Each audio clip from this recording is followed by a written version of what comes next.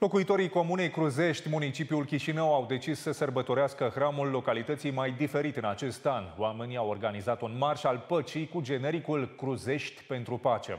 Împreună cu autoritățile locale, elevii au depus flori în memoria tuturor persoanelor care au fost ucise în urma războiului din Ucraina.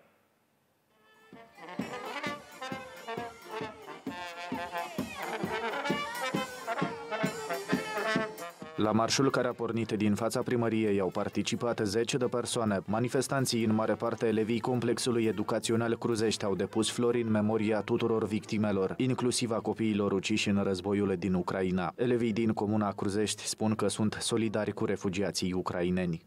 Noi am vrut să ne arătăm sprijinul față de poporul ucrainean și în special pentru copiii care sunt uh, implicați în acest război. Noi uh, ne iubim țara, că noi vrem să fie pace, că suntem solidari cu copiii din Ucraina. Noi prin această demonstrație am vrut să arătăm uh, empatia față de poporul ucrainean.